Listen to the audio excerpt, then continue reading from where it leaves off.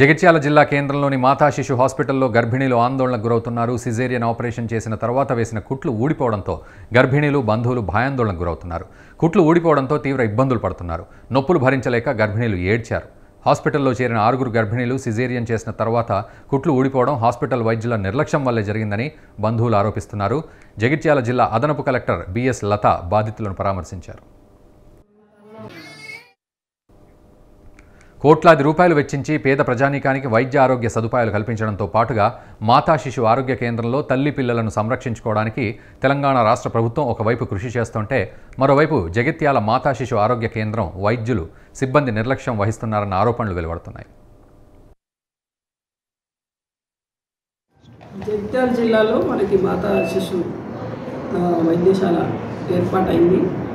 So ఈ దీంట్లో ఏ రకంగా అన్ని సౌకర్యాలు అందుతున్నాయని ఒకసారి చూడటం కోసం రావడం జరిగింది.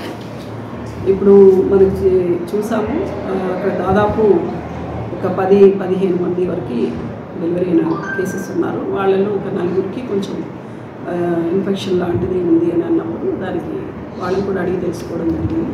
అందులో ఇద్దరేమో డయాబెటిక్ తర్వాత వేరే ఇతర కాంప్లికేషన్స్ ఉన్న వాళ్ళు ఉన్నారు. ఒక ఇద్దరు మాత్రం ఒబేసిటీ ఉంది తొందరగా స్టిచెస్ మానలేదు.